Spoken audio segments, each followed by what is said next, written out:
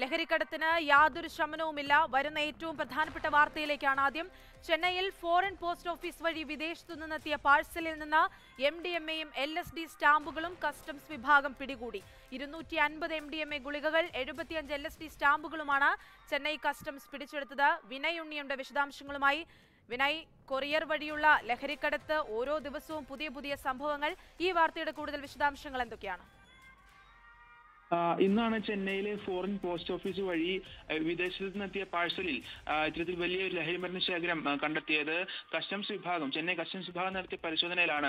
M D M എയും L S സ്റ്റാമ്പുകളും അടങ്ങിയ ശേഖരം പിടിച്ചെടുത്തത്. പിടിച്ചെടുത്തതിൽ ഇരുന്നൂറ്റി അൻപത് എം ഡി എം എ ഗുളികകളും എഴുപത്തഞ്ചോളം എൽ എസ് ടി സ്റ്റാമ്പുകളും ഉണ്ടെന്നാണ് കസ്റ്റംസ് ഇപ്പോൾ വെളിപ്പെടുത്തിയിരിക്കുന്നത്.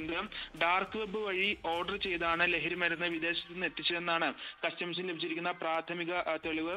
ഇത് പ്രകാരം ഇതിന്റെ ആ, അന്വേഷണത്തിലാണ് കസ്റ്റംസ് ഡാർക്ക് വെബിൽ ഇത് ഓർഡർ ചെയ്ത വ്യക്തി ഇപ്പോൾ കസ്റ്റംസിന്റെ പിടിയിലായിട്ടുണ്ട്. എൻ ഡി പി ആക്ട് പ്രകാരം N D P S act പ്രകാരം ഇപ്പോൾ കസ്റ്റംസ് ഇയാളെ അറസ്റ്റ് ചെയ്തിട്ടുണ്ട്. ഇയാളുടെ പിന്നിൽ മറ്റാരെങ്കിലും ഉണ്ടോ എന്ന കാര്യവും കസ്റ്റംസ് പരിശോധിക്കുന്നുണ്ട്. ഏത് സൈറ്റ് വഴിയാണ് എവിടെ നിന്നാണ് ഇത് ഓർഡർ ചെയ്തെന്നുള്ള കാര്യവും ഇപ്പോൾ കസ്റ്റംസ് പരിശോധിച്ചിരിക്കുകയാണ്. എന്തായാലും വലിയ രീതിയിലുള്ള ഒരു ലഹരി സിന്തറ്റിക് ഡ്രഗ് തന്നെയാണ് ചെന്നൈ കസ്റ്റംസ് ഇപ്പോൾ പിടിച്ചെടുത്തിരിക്കുന്നത്. അനശ്വര. വലിയൊരു ലഹരി മാഫിയയുടെ വാർത്തയാണ് കൊറിയർ വഴിയുള്ള ലഹരിക്കടത്ത് എം ഡി എം എയും എൽ എസ് ടി സ്റ്റാമ്പുകളും പിടിച്ചെടുത്തിരിക്കുന്നു. വിനയ് ഉണ്ണിയാണ് ഈ വാർത്തയുടെ വിശദാംശങ്ങൾ നൽകിയത്.